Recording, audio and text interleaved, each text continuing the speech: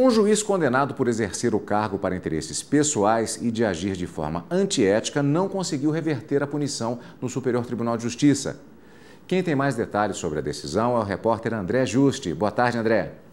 Muito boa tarde, Cadu. O juiz que exercia o cargo na cidade de Vinhedo, no interior de São Paulo, foi desrespeitoso e antiético com outros juízes, representantes do Ministério Público, delegados e até com o prefeito do município, que teria recusado pedido para empregar um parente do magistrado. Ele também interferiu nos trabalhos da Câmara Municipal para atrasar a aprovação de projetos. O processo disciplinar também apontou que o juiz, com 23 anos de atuação na comarca, atendia advogados de forma parcial, privilegiando amigos pedindo emprego para familiares e usando a influência dele para interferir em assuntos que nada diziam respeito ao judiciário. O Tribunal de Justiça de São Paulo afastou o magistrado do cargo e o juiz recorreu aqui ao STJ, só que os ministros da quinta turma negaram o recurso. O relator, o relator, desembargador convocado Leopoldo de Arruda Raposo, disse que não houve legalidade durante o processo disciplinar, ainda mais diante de tantos fatos graves que foram investigados e comprovados. Cadu.